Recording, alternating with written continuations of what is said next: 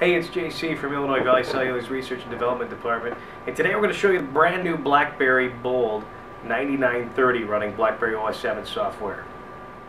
OS 7 software on the brand new Bold Touch, which means you not only have uh, your regular mouse that comes with the Blackberries to scroll through all your applications and icons, but also you now have the ability to touch the screen as well.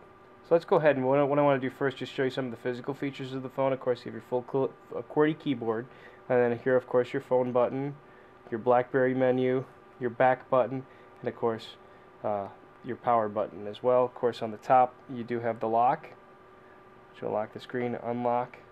On the sides, your volume and mute controls, your convenience key, uh, as well as on this side, your USB char charger, USB port, and also your uh, headphone jack.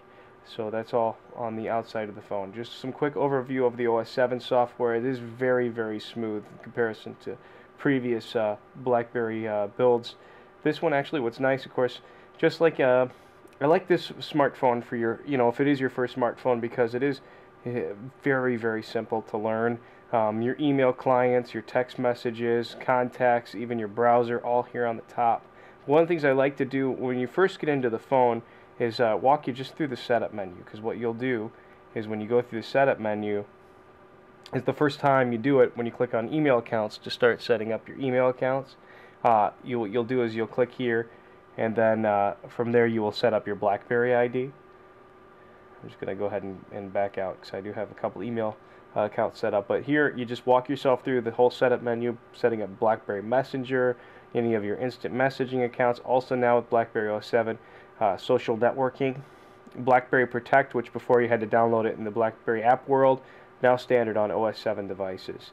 Uh, same thing, personalizations, even tutorials and how-tos, all within the setup menu. I'm going to go ahead and exit um, and come up here. App World 3.0, a lot nicer too.